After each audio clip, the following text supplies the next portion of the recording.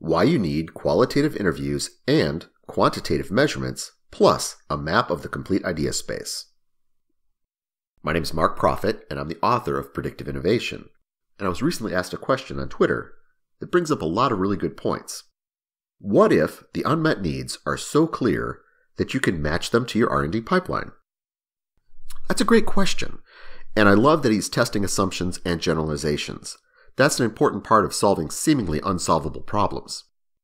Well, the answer in one word is strategy. Are you trying to create a product or a business?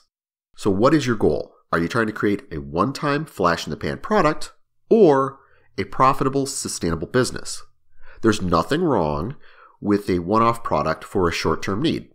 But as a business strategy, trying to do that tends to be much more risky and cost more than growing a product into a family of related products and services, especially if you have predictive innovation to show you what those will be four to five product generations on in the future.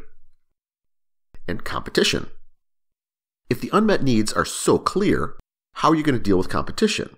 Because obviously, if they're that clear, they're clear to other people too. This is another point about risk and profitability. Also, prioritization. Which of the needs are most important? And which of the needs are most profitable. You can only get that by measuring. Will the product properly satisfy? What level of each benefit do the customers require to satisfy each unmet need? If you deliver something that's too low, they won't buy. If you deliver something that's too high, they also might not buy because the product could be too expensive.